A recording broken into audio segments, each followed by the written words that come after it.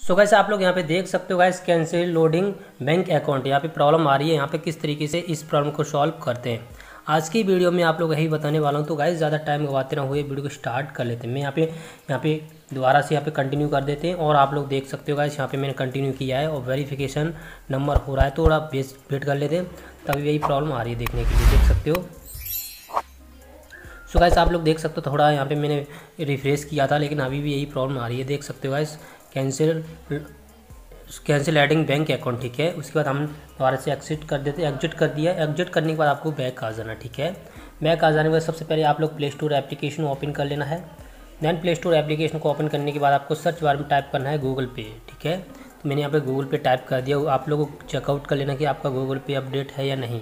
फ़िलहाल मैंने already Google पे को अपडेट कर लिया है।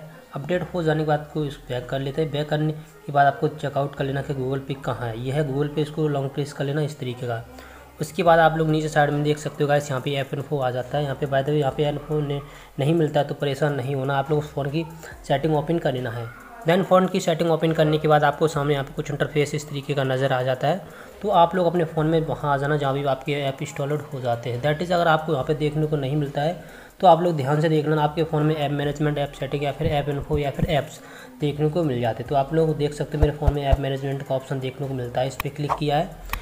दैन क्लिक करने के बाद आपके सामने यहाँ पे कुछ इंटरफेस इस तरीके का नज़र आ जाता है। उसके बाद आप लोग को ऐप सेटिंग पे क्लिक कर लेना है।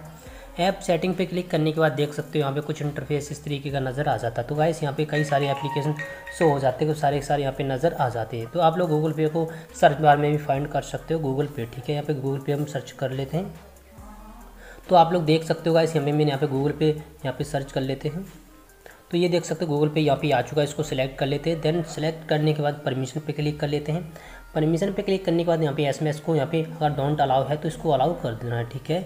इसके बाद बैक आ जाना है। बैक आ जाने के फ़ोन को भी यहाँ पे अलाउ कर देना है डोंट अलाउ है तो, तो मैंने यहाँ ऑलरेडी अलाउ कर रखा है ठीक है?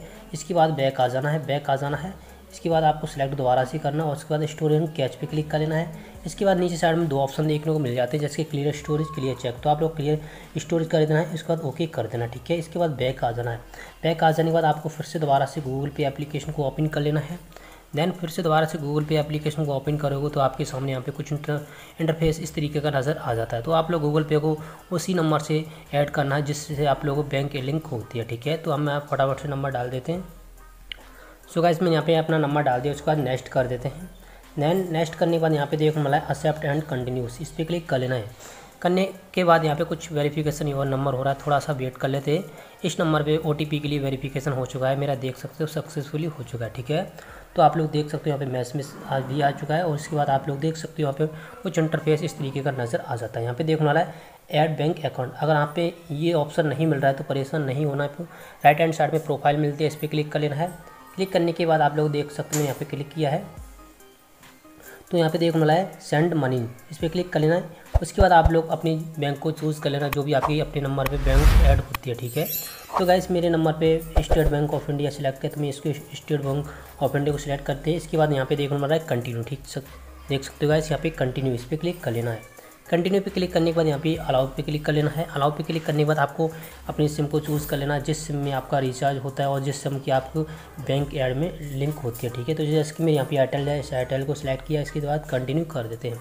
कंटिन्यू करने के बाद यहाँ की अलाउ कर देते हैं। अलाउ करने के बाद आप लोग देख सकते हो सेंडिंग एस हो रहा है, थोड़ा सा आप लोग वेट कर लेना इसके बाद सो गैस आप लोग यहाँ पे देख सकते हो गैस एडिंग बैंक अकाउंट यहाँ पे हो रहा है, थोड़ा सा आप लोग वेट कर लेना है। उसके बाद आपकी यहाँ पे प्रॉब्लम जो भी आ रही थी वहाँ पे सॉल्व हो जाएगी। देख सकते हो? तो यहाँ पे यू पी यहाँ पर कनेक्ट हो रहा है, थोड़ा सा वेट कर लेते हैं। बस सेव कर देते हैं।